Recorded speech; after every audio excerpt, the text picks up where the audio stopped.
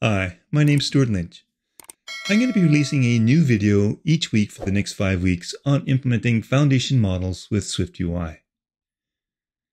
The first video is coming out on Sunday, October 19th, and it's going to cover the basics on how you can get started with foundation models. Now, in this first video, we're going to be ignoring formatting of the response and the UI in general, but we'll create some useful classes and views like one for determining if your device supports foundation models that we can use in future videos. In the second video, we'll work on building useful prompts for our UI, and we'll give the user a much better feedback as the process is happening. We'll also introduce the concept of streaming the response as it's being generated instead of waiting for the entire response before updating the UI.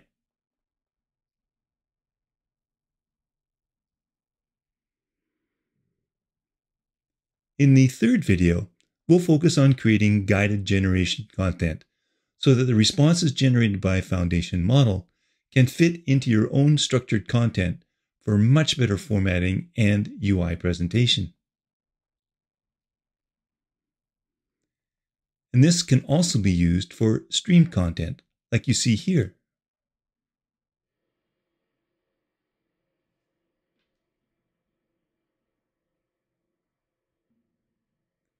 In the fourth video, I use the Foundation Models transcript to create a helpful and polite travel agent working in a tourist information center that can answer questions for you. And will also ensure that whenever Apple feels like your response is inappropriate, you're notified.